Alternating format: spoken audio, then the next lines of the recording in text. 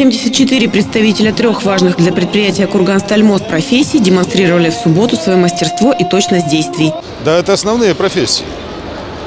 Это газорезчики, как я сказал, сварка. Мы, у нас завод по металлическим конструкциям, по сварным конструкциям.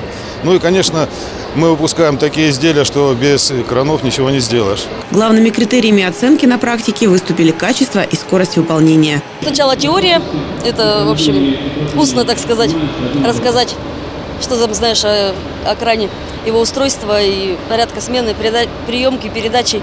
Э, Потом, значит, на практике показываешь, что умеешь. И, э, и эти неисправности крана. Конкурс среди машинистов мостовых кранов оказался самым зрелищным. Несмотря на преобладание среди участников представительниц слабого пола, задачи они выполняли серьезные. Прохождение змейки. 10 столбиков должны остаться стоять на своих местах. Попадание груза в мишень приравнивалось к стрельбе в тире. Каждый круг дальше от центра снимал баллы. На оба задания давалось только 10 минут.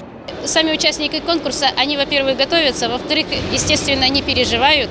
Каждый хочет занять какое-то, значит, призовое место, потому что это стимул в работе и плюс показывает свое мастерство. А мастерство для нашего завода – это самое главное.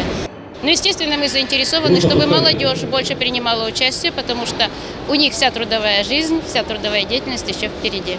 Конкурсы профессионального мастерства на предприятии давно воспринимаются не как соревнования, а как праздник труда. На эти состязания рабочие приходят с семьями. Молодежь приобщается к заводским традициям, а победный дух конкурсантов поддерживает эстрадными номерами. Это традиция нашего завода. Мы в советские времена еще проводили конкурс профессионального мастерства. Проводили его и в 90-е годы, когда было трудно с экономической точки зрения. Проводим и сейчас. Победители конкурса примут участие в областных и региональных соревнованиях. Марина Белкина, Василий Малухин, Александр Менщиков. Информационное агентство «Курган.ру».